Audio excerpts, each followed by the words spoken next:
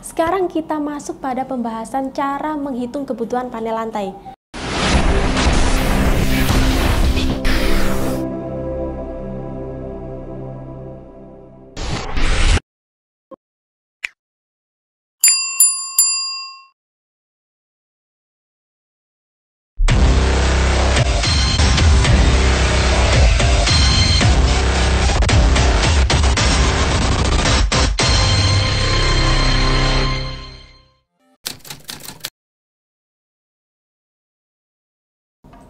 Halo, jumpa lagi dengan Nobel Bangun Perkasa, distributor resmi material building modern, spesialis bata ringan, panel lantai, dan semen mortar. Di video kali ini kita akan membahas tentang cara menghitung kebutuhan panel lantai beserta biayanya. Jadi, video ini pasti cocok untuk Anda, para kontraktor, pemborong, dan untuk Anda yang ingin bangun rumah. Berbicara tentang panel lantai, di sini sudah ada contoh panel lantainya ya, seperti ini contohnya. Nah, panel lantai ini merupakan material bangunan modern sebagai pengganti cordak konvensional, tapi lebih ringan dan pengerjaannya jauh lebih cepat. Sekarang kita masuk pada pembahasan cara menghitung kebutuhan panel lantai. Nah, tepat di depan saya ini sudah ada cara menghitung kebutuhan panel lantai. Oke, simak terus ya video ini. Sebelumnya, kita harus mengetahui dulu untuk spek panel lantai ya. Jadi di sini ada spek panel lantai yang panjang panelnya dimulai dari 1,47 meter sampai yang paling panjang di ukuran 3,22 meter. Lebarnya sendiri ukuran 0,6 meter, tebalnya 0,125 meter. Nah, satu kubik panel lantai ini setara dengan 8 meter persegi. Kalau kita sudah mengetahui untuk spek panelnya, sekarang kita tentukan dulu untuk luasan bangunan yang akan dipasang panel. Kita ambil contoh sederhananya di sini ada ukuran panjang bangunan di 10 meter, lebar 5 meter. Kemudian panjang dan lebarnya ini dikalikan jadi 10 kali 5 sama dengan 50 meter persegi. Maka 50 meter persegi ini adalah jumlah luasan yang akan dipasang panel ya. Setelah diketahui luasan bangunan yang akan dipasang panel, kemudian kita buat ke kubikasi. Kalau membuat ke kubikasi, maka 50 meter persegi ini dibagi 8. Nah, 8 ini berasal dari satu kubik panel lantai yang setara dengan 8 meter persegi. Jadi hasilnya 6,25 kubik. Oke, kita hitung dulu apakah benar 6,25 kubik hasilnya?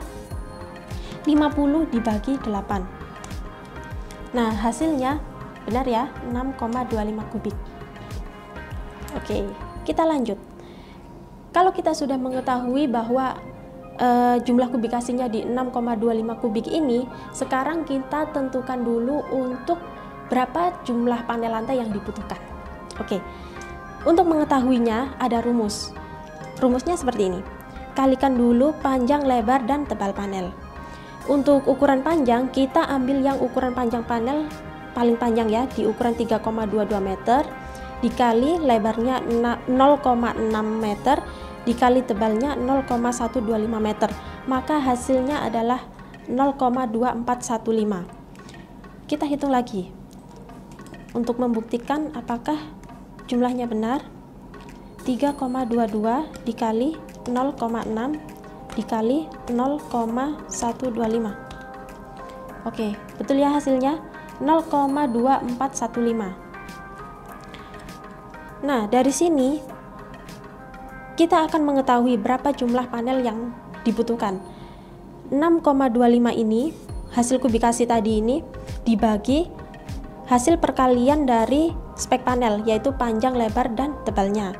Maka hasilnya adalah 25,87 kita hitung dulu.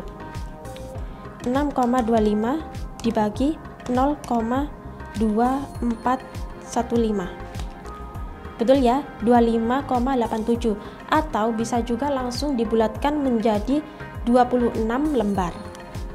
Begitulah cara menghitung panel lantai.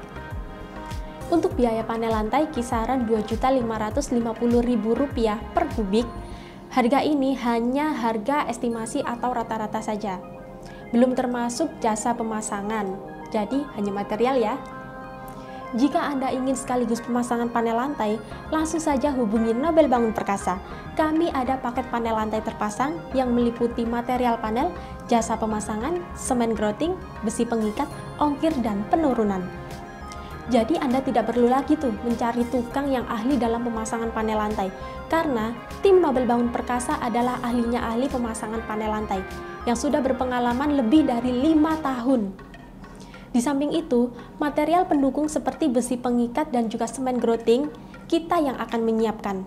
Oh ya, Anda juga tidak perlu tuh untuk menghitung kebutuhan panel lantai, karena sudah ada tim survei kami yang siap menghitungkan. Untuk harga paket panel lantai terpasang ini, langsung saja hubungi nomor CS kami pada running text di bawah,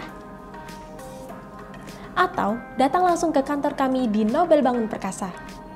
Jangan lupa segera order ya, Percayakan pemasangan panel lantai Anda pada Nobel Bangun Perkasa. Video ini dipersembahkan oleh Nobel Bangun Perkasa Group. Di Nobel Bangun Perkasa, semua jadi lebih mudah. Thank you.